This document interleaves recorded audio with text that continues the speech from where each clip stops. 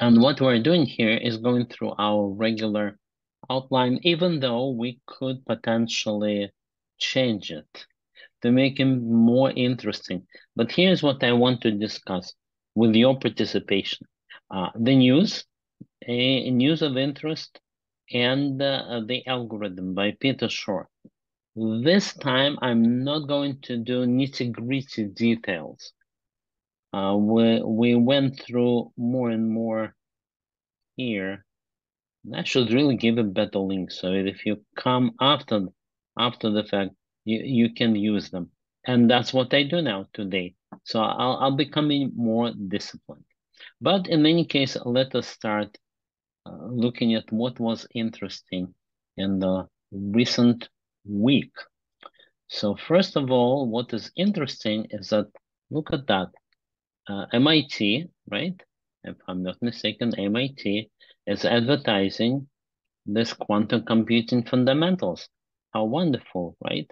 So of course I go and uh, hmm, looks looks great. I go and I want to click everywhere I can possibly click get updates, watch demo. No, I don't really want updates in demo.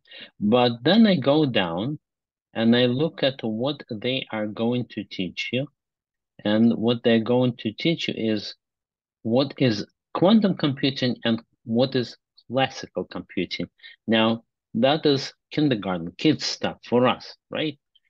And uh, then discern potential performance gains of quantum versus classical algorithm. This is highfalutin language of saying that we're not going to tell you anything. But all of that, now I'm not criticizing, but all of that comes at the price of $2,319 per pop or per horse. So I, I that's a bit surprising to me because all of this uh, quantum computing knowledge is free everywhere, absolutely everywhere. Eh, well, with the exception of some uh, Udemy, Udemy courses. But I hope that we together will get all this knowledge and will save all this money. But it's interesting. It's interesting that there is a course probably for executives or for those who well, I'm not sure who is it for. Four weeks, that looks like for a programmer. A programmer wouldn't pay that money, so it's up to them. All right, that is first piece of news. The second piece of news is uh, really, I'll tell you in the wrong order. Here, that was an interesting piece of news that goes well with this. So in fact, what I should do is I should move it, that one, that link, move it over to this one. So first news is that we get a course to learn. Another one is, uh, look, it's coming, right? Here. What's coming? Well, we'll be careful reading that. This is from VentureBeat, which I even saw a question, how legitimate are those guys? What kind of a VentureBeat is that? That's looking like some journalist effort, but maybe I'm wrong. So what they say is uh, move over AI, even though it gets all the hype today. And here, quantum computing might be the most powerful and worrying technology. Well, with that introduction, you would want to read it. And what I read is one interesting fact. Really, there was something interesting here. They say that it's a pivotal year and that in this year will be as I say, reset year for quantum computing. What do they mean? What kind of reset? IBM is working very hard on creating better and better computers, and so are about 10 other companies. Well, they say that the estimated time that it will take to make quantum computers safe encryption, in other words, nothing seriously today, but we estimate that if quantum computing comes to the fore and performs and delivers, then it will need to adjust all the other parts. And all the other parts, it will take some time to adjust. It won't be easy. And exactly how much? Four to six years here. Well, it will take about four to six years for quantum computing to deliver all that it promises. So they're saying start now. That is an interesting twist because people don't react like this. They don't say, uh, oh, it takes me four to six years and the, danger is coming after four to six years. So I, I better move. I mean, some people do. Some big corporations maybe do. But that's all. That is uh, essential what it said. And as you can see, a lot of advertisements. So that leads me to think that this VentureBeat is really a, a search engine optimization and sell the clicks enterprise. And now they go talk about quantum computing. Of course, you need to put some words so that the engine would some have something to to latch upon and give you those links.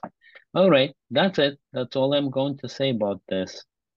Any reaction, you can put it on chat or just speak up. That's an interesting piece of news though, because our all, I think all of you guys here are thinking about that it's interesting what's going on with, with quantum computing. So therefore, well, we have some future in mind and they also do. Now, there was another article here, and the other article said, well, this is how humans think. They uh, they are. They have a quantum computer inside, and that is how they can know what is far away from them in no time, meaning really no time faster than the speed of light. That is uh, an enticing thought. If we read the article, subject, scientists discover possible connection between human brain and cosmos on a quantum scale. Sounds like just the right thing to do. That is how you can know what's going on in the world without the internet. Uh, but if, yeah, so that was interesting to look at. But then after I read it, I saw that it is just a research paper, nothing wrong with research papers. But this one says that maybe our brain thinks in fractal networks. So if you combine quantum and if you combine networks, meaning deep networks, and add the word fractal, you'll get all the hot keywords. But there is no proof. The article will delve into the research paper titled Quantum Transport in Fractal Networks, and it will suggest that maybe that is how it works, but absolutely no proof. And when you do such things, when you start thinking quantum computer, then you anyway have all kinds of insights that's well known, Zen and uh, uh, Shiva dancing and uh, all the particles. Now, I gave you three news which are not really news, but uh, they are in some way. Now I see some chat.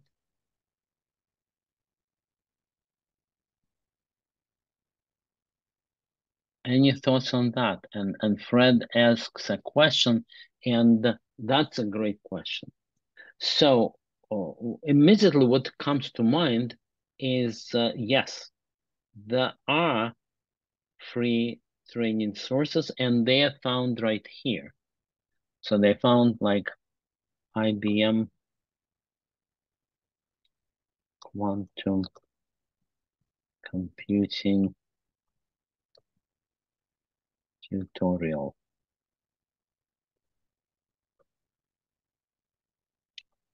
Quantum computing, no, that's MIT and that's Microsoft. So you need to know where to go. It's right here.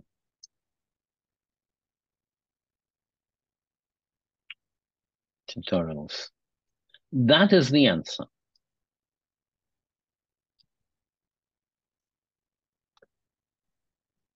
Uh, but what I'm thinking about is that it's a good idea to collect all of the resources because I know quite a lot of resources that I have been struggling myself when I started more than a year ago. So I think it will be a good idea to go back here and for the next time, put one of the first links here. That will be our next session. So let's put it here. Okay, that will be the session that is on the 29th. Okay, and guide to all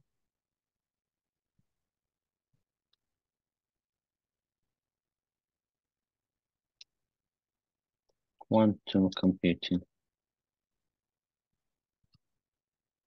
Okay, so what I will do is uh, collect all of that and I will put it into our folder so it's always there. So since you asked this question, this is our material folder. Okay, so I will collect it here. Uh, the, the document with all the stuff will be here. And I will put the link to it right here. And next week, we will go through the sources and what's good about that and what books to read and why you would read. Uh, so I think it's correct guide to studying quantum computing. Uh, and uh, people who see this line, I hope will trust me that it is a complete guide. So why don't I say that? As much as you can have a complete guide, it will be complete. All right. Thank you very much for asking this question because that gave me the idea for the next discussion. But let's look at what else. What else is that we wanted to be a bit more practical. And here, I apologize, we are kind of relying on you having been at the previous webinar. So I'm not every time going into the, let's start from the very beginning. That's the very first question. And I can't resist showing a case where that is true. Okay, thank you, Fred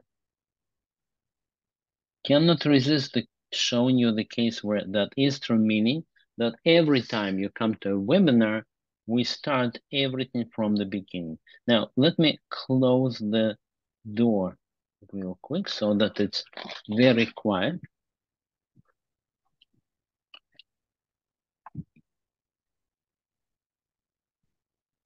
There you are. And that is the case. Now, the I have a reason to show that it's uh, it's called Talmud illuminated. But that's a site right here. Okay, now, of course, that's my theme because I'm Jewish and I'm studying Talmud, and that describes a summary of every page of the Talmud. But unlike all other cases, here I give a summary and I do not assume that you learned anything before or will learn anything after. For example, let's say you go into a page, any page, and I start right away the substance, but you don't have to know what was before, what happened after. And if you don't understand something, and that's the reason I'm showing this to you, then you click right here and you go to AI, and there you ask a question like what happened before the story of Rabbi, who was it? Well,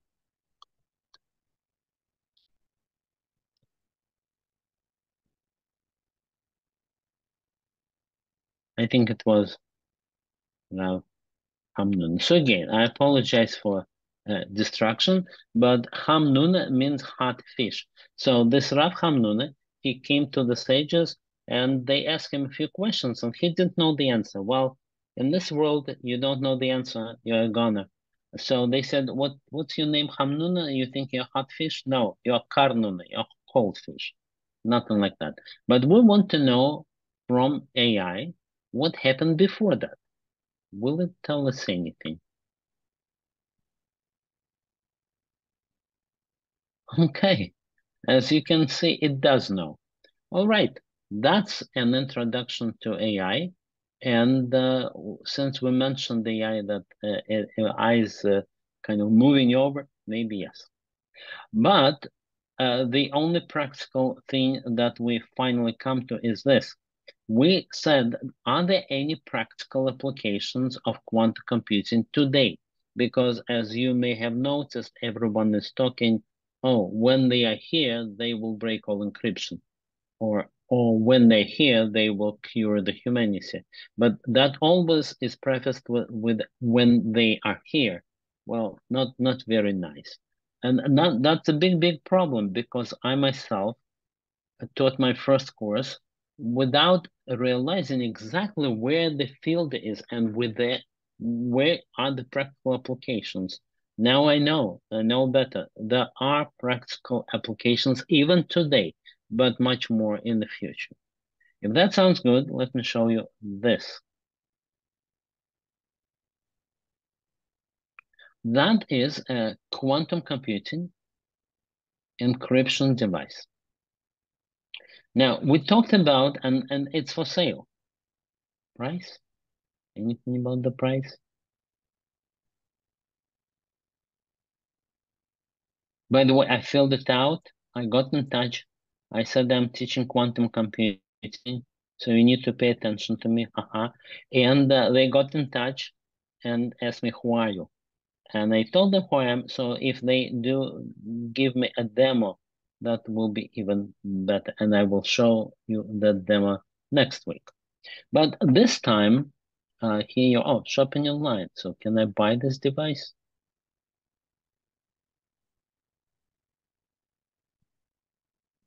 Basket is empty, right? So I think it's not that easy because uh, not everybody buys those devices non-stop, I would think but some people do.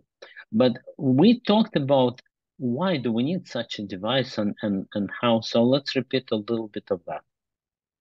Let us say we want to secretly communicate. The usual story is Alice communicates with Bob. So Alice wants to talk to Bob, or Bob really wants to talk to Alice, and he wants to send her a message.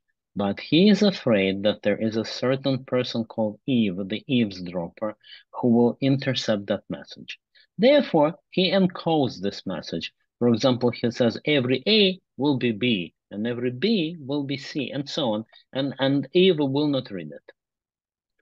Uh, but you need to either guess the encryption key, and there are many funny stories about that, or tell Alice what the encryption key is. In that case, in my example, A goes to B, B goes to C, C goes to D. The encryption key is easy, back one letter. There are more involved um, waves of, of, encryption, and one of them is uh, in Hebrew is called atbash, which means that you take the first letter alphabet and you encode it with the last letter of the alphabet. Then you take the second letter of the alphabet and you encode with the penultimate letter of the alphabet, which means before the last, and so on. Again, that's an easy key. But in real life, they need to invent some more complicated key and send. Bob sends to Alice his key. That's a big problem.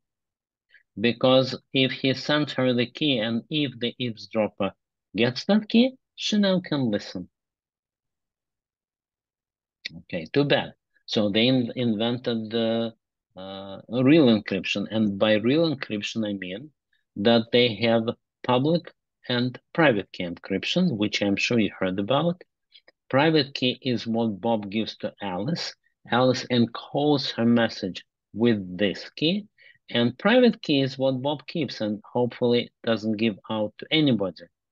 And then uh, uh, eavesdropper, uh, Eve eavesdropper is out of luck. She she gets the messages. She can even get the public key. She can even send messages to Bob, but she cannot read messages that Bob sent to Alice. Well, unless it has a quantum computer. With quantum computer, you can break the encryption, even that strong encryption that we all rely upon. For example, right here, okay? If I click on that, it will say site setting cookie connection is secure. The reason it is secure is because all information is first encoded using RSA encryption and then sent. Well, that's exactly what the quantum computers will be able to break. So what's the solution? This is the solution. This is in Switzerland. The interesting thing that the company is a Swiss company, is it not? Right? Somewhere I saw it. It's in Switzerland. Okay. They like to keep secrets. How does it work? It works based on quantum computing. So quantum computing is going to break encryption, but it is going to restore that encryption. And if you uh, remember, we talked about this last time, but I'm repeating it because maybe you heard that and forgot it, or maybe I didn't explain it right or maybe myself, maybe I didn't understand it then and think that I understand it now. In any case, that device is the savior. It encrypts in such a way that nobody can break it. How does it do it?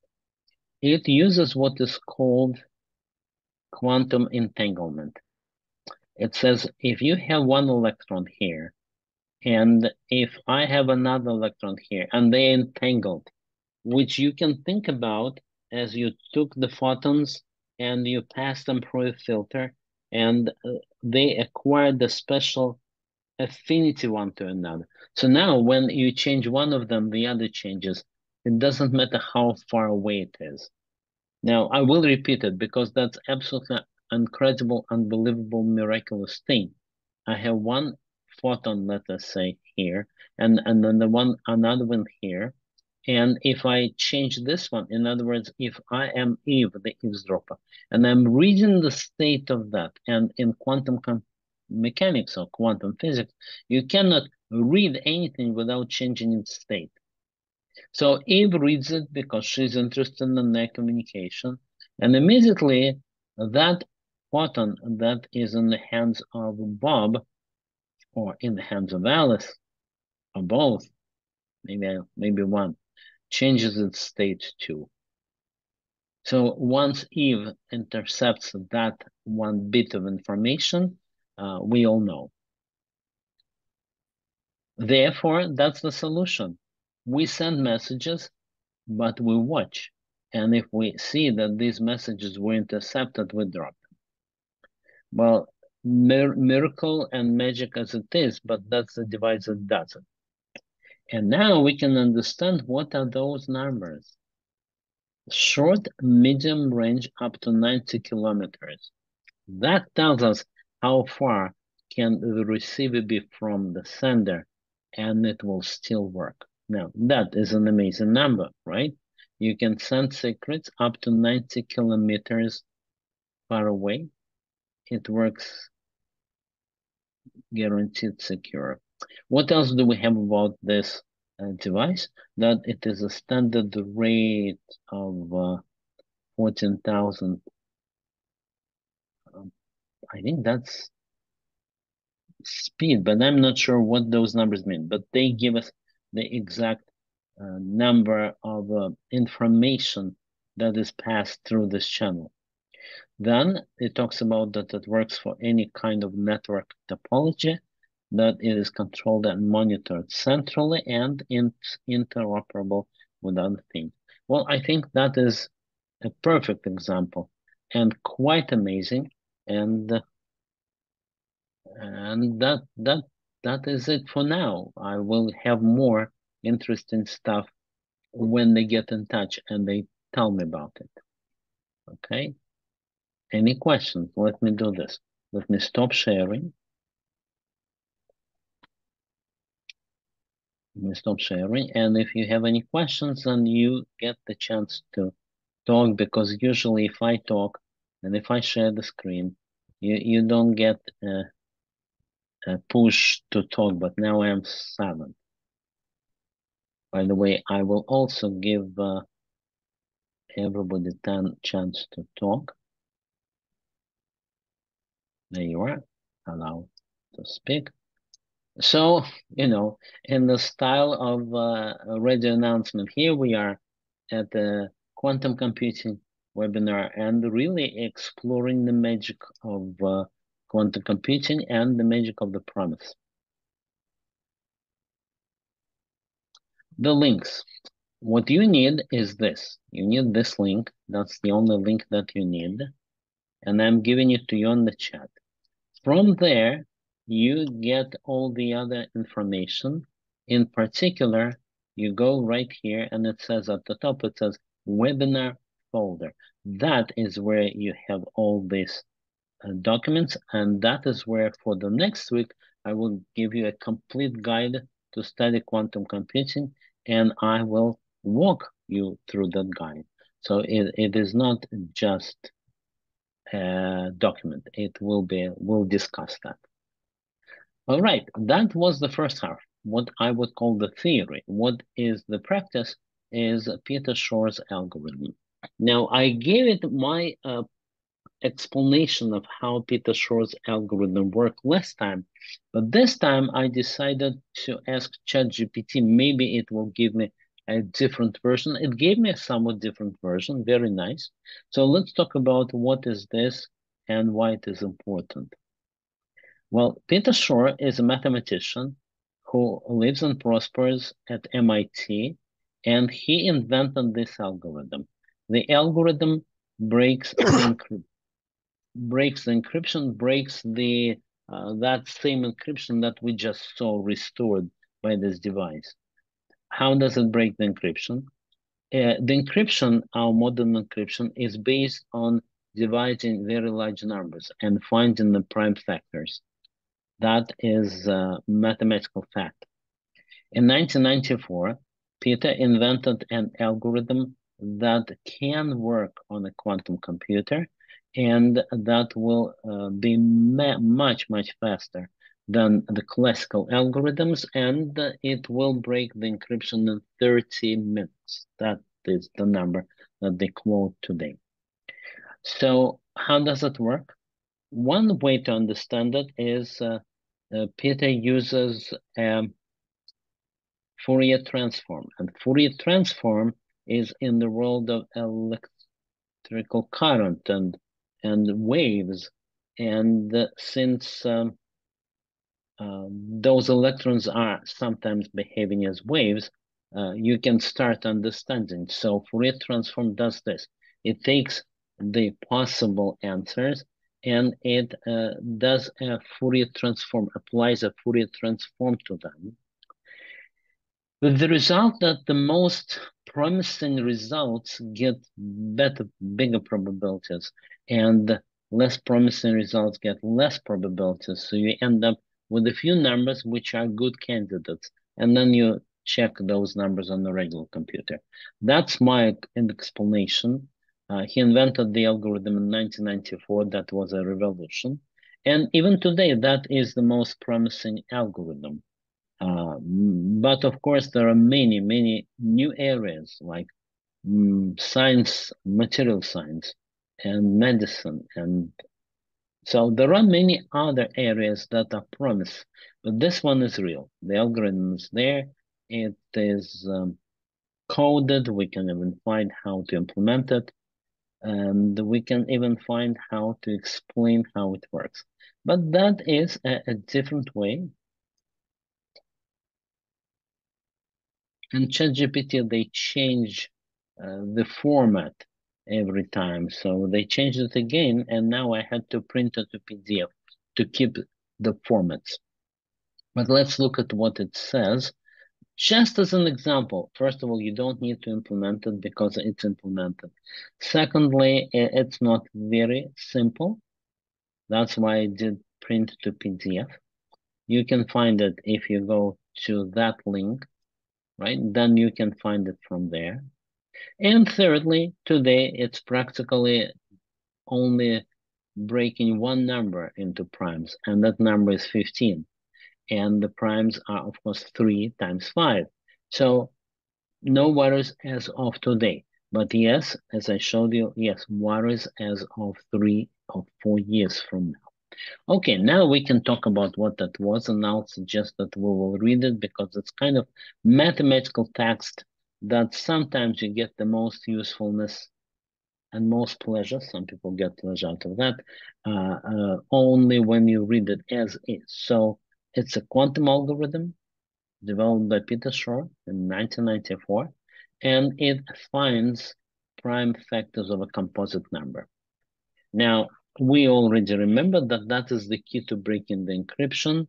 When it says efficiently finds, that's really a very meaningful word.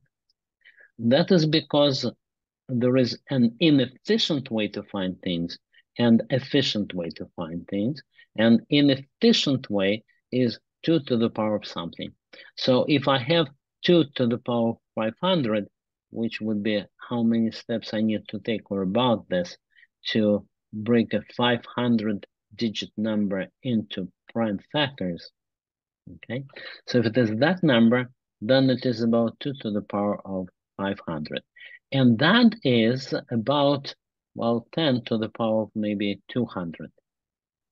Because 2 to the power of 3 is 8, so you just divide by 3. Okay, so 2 to the power of 500 is maybe about two, uh, 10 to the power of 200. And how many particles do we have in, in the universe and in the world? And how do you call it? Uh, what are the closest approximation to infinity? That's 10 to the 90. That's all. That is 10 to the 90 particles in the whole world as we know it from astronomy.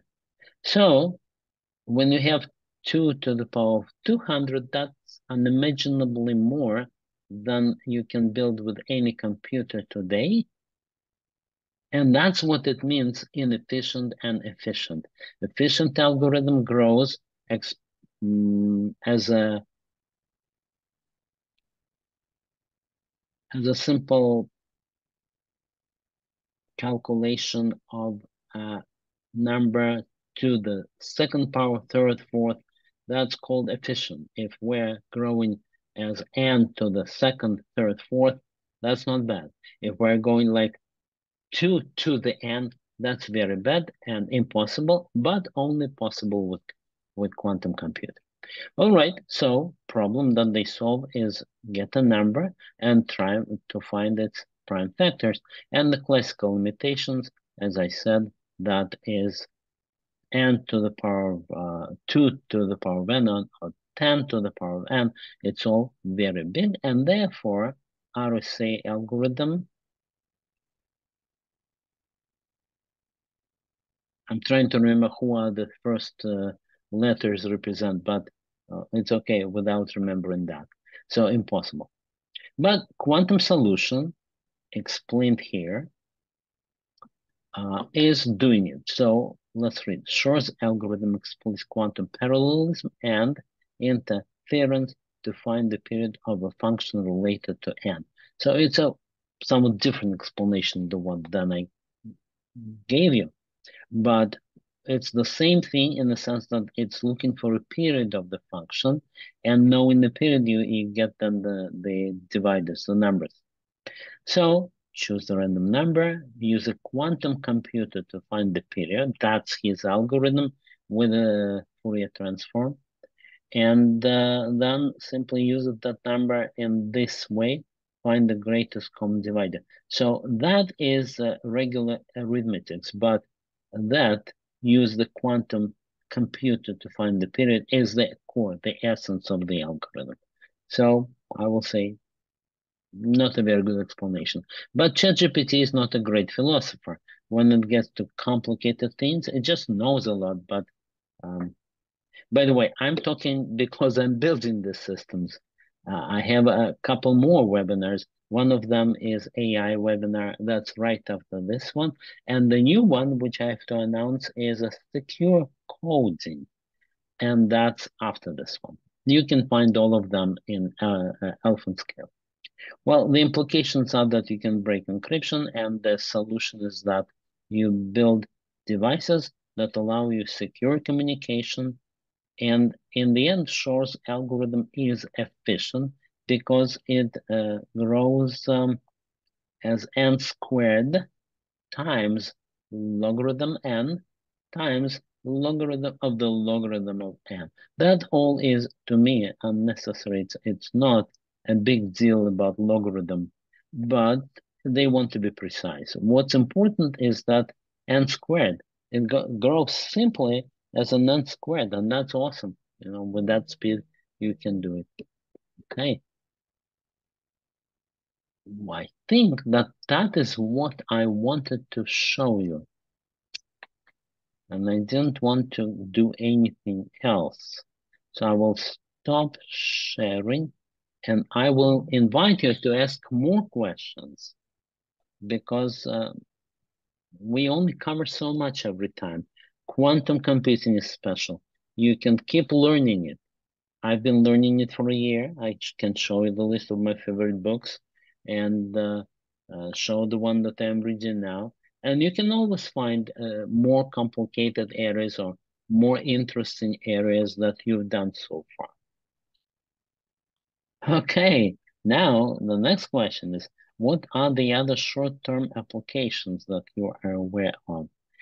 I have to apologize, there are none. How do I know that? Uh, uh, uh when I despaired to find one, I uh, asked a question on the, if I can show it to here, on the forum, uh, on the Slack. I'm a member of that Slack.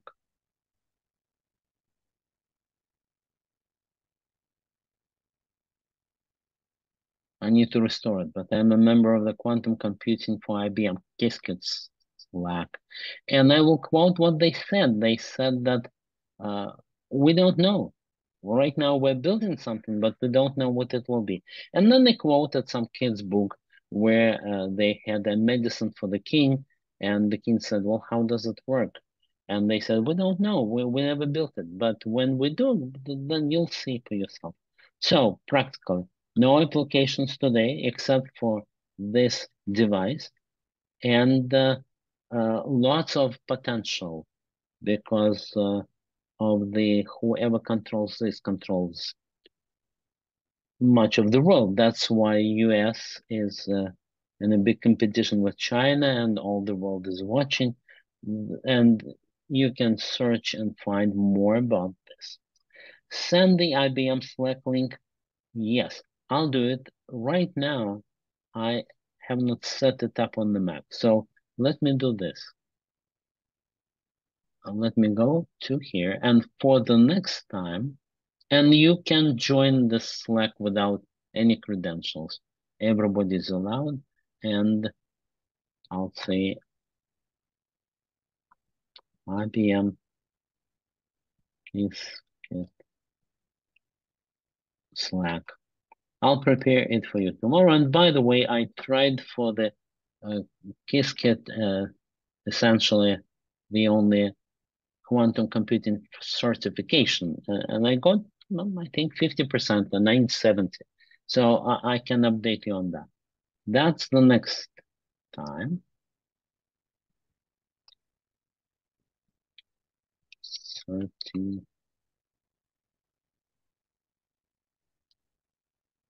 certification. I will even give you advice on how to get this certification. Uh, not completely fair advice because I haven't got it. I failed but I always fail my first test, not a problem. Okay, that was your next question. Your question was, give us uh, the link and I will give you the link. That will happen. All right, guys. As an ancient Chinese story says, the donkey ran out of his tricks. Okay, but uh, Fred is asking more and more questions. So let's read them. What are the other short-term applications? I already said none. Can you please send the link? Yes, I will. Any thoughts on how quantum computing could be used to ingest more information or knowledge into our LLMs? Here, I will say that there is no way because quantum computing is not about storage, but about manipulating information. So quantum computing usually consists of that many qubits, which is the jargon for bits, qubits, and uh, today, the record is 433 qubits, but that is very little. In other words, it's not a place to store your information, it's a place to process it. And I might be wrong on anything that I say, you know. Um, th that's kind of when I was starting and training LLMs the same way. No, it, it doesn't process a lot of information. It solves only specific problems, what it can solve. For example, it can model a material, but I have not seen it. Well, I, I think I saw one article that either claimed that it can do it or suggested ways, but no, it, it's not the mainstream and nobody's talking about this. However, I will show you what it really is. And that means that I will include weekly webinars of Qiskit themselves. It so happens that their weekly webinars are also on Friday, also at the same time as mine, and I might lose you guys, and you'll go there. Uh, it's on the PhD level of quantum computing and uh, quantum physics but uh, both are recorded. My webinar is recorded and their webinar is recorded. There is no real competition. So thank you for all the questions. And you have my email if you need to write anything longer. Okay. So I wish everybody a great weekend and I'll see you next week and have a good year.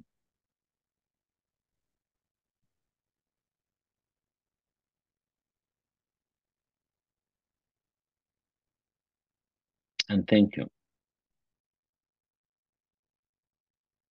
Thank you. Thank you.